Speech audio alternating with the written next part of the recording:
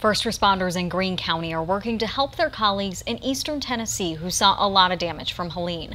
New Glarus Area EMS is donating an ambulance to the EMS in Unicoi County. That department lost three ambulances and one quick response vehicle. But before New Glarus sends off its ambulance, they're working to fill it with supplies, and you can help.